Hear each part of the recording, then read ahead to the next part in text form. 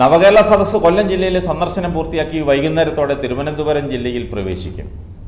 പുരോഗമന രാഷ്ട്രീയത്തിന്റെ ചരിത്രം ഇന്നും ത്രസിക്കുന്ന കൊല്ലത്ത് നടന്ന സംവാദം നവകേരള സൃഷ്ടിക്ക് ഉതകുന്ന ആശയങ്ങളാൽ സമ്പന്നമായി എന്ന് വേണമെങ്കിൽ പറയാം. പരമ്പരാഗത വ്യവസായങ്ങളുടെ ഈറ്റില്ലമാണ് കൊല്ലം. പ്രകൃതി ഭംഗിയാൽ അനുഗ്രഹീതമായ കൊല്ലത്ത് ടൂറിസം വലിയ മുന്നേറ്റമാണ് ഉണ്ടാക്കിയിരിക്കുന്നത്.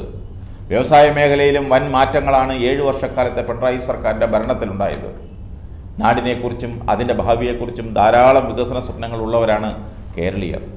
അങ്ങനെയുള്ളവരുടെ പരിച്ഛേദമാണ് നവകേരള സദസ്സിനെ സമ്പന്നമാക്കുന്നത്. ഒട്ടേറെ നിർദ്ദേശങ്ങളും അഭിപ്രായങ്ങളും നവകേരള സദസ്സിലും അനുബന്ധിച്ചുള്ള പ്രഭാത യോഗങ്ങളിലും ഉയർന്നിട്ടുണ്ട്. അവയെല്ലാം അർഹിക്കുന്ന പരിഗണനയോടെ പരിശോധിക്കുകയും തുടർ നടപടികൾ കൈക്കൊള്ളുകയും ചെയ്യും. വികസനം എല്ലാവരിലേക്കും എത്തിക്കുകയാണ് സർക്കാർ പ്രവർത്തനങ്ങളുടെ കാതൽ. അത് തുടർ പ്രക്രിയയാക്കി മാറ്റുന്നതിനാണ് ജനാഭിപ്രായം തേടുന്നത്. വിദ്യാഭ്യാസ മേഖലയിൽ കേരളം കൈവരിച്ച സ്വപ്നതുല്യമായ നേട്ടങ്ങൾ പല സദസ്സുകളിലും ചർച്ചാ വിഷയമായി. പൊതുവിദ്യാലയങ്ങളിലേക്ക് കുട്ടികൾക്ക് പ്രവേശനം നേടാൻ രക്ഷിതാക്കൾ മത്സരിക്കുന്ന അവസ്ഥയിലേക്ക് കേരളത്തിലെ വിദ്യാലയങ്ങളുടെ നിലവാരം ഉയർത്താൻ സാധിച്ചു.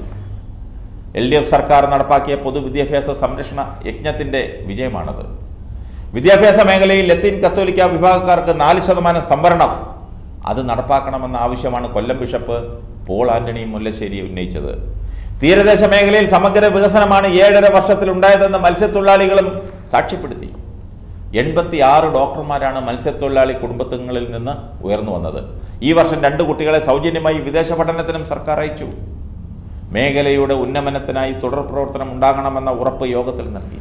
കാപ്സ് പദ്ധതിയുടെ സാമ്പത്തിക സഹായം വേഗത്തിൽ ലഭ്യമാക്കണമെന്നാണ് എസ് ആവശ്യം. ഏറ്റവും കൂടുതൽ സൗജന്യ ചികിത്സ നൽകുന്ന സംസ്ഥാനമായി കേരളം തുടർച്ചയായി തിരഞ്ഞെടുക്കപ്പെട്ടിരിക്കുകയാണ്. ക്യാപ്സ് കാരുണ്യ ബലവൻ ഫണ്ട് ചികിത്സാ പദ്ധതികൾ. അത് നൽകുന്നത് കൂടുതൽ മികച്ച രീതിയിൽ തുടരും. നാല് വർഷത്തിൽ ചികിത്സാ ധനസഹായം സർക്കാർ ഇരട്ടിയാക്കി. സൗജന്യ ചികിത്സയ്ക്കായി ആയിരത്തി അറുന്നൂറ് കോടി രൂപയാണ് സർക്കാർ മുടക്കുന്നത്.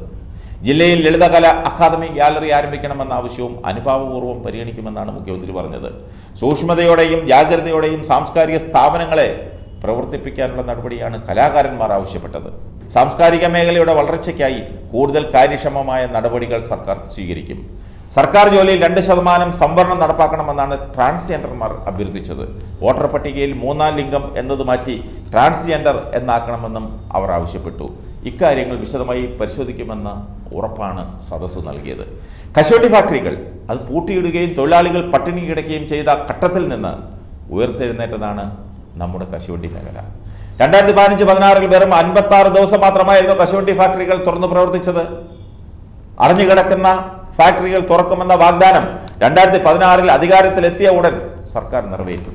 വ്യവസായത്തിന്റെ നവീകരണത്തിനും പുനരുദ്ധാരണത്തിനുമുള്ള ഒട്ടേറെ നടപടികൾ സ്വീകരിച്ചു. അടിസ്ഥാന സൗകര്യ വികസനത്തിലും നവീകരണത്തിലും ഒട്ടേറെ നടപടികളുണ്ടായി.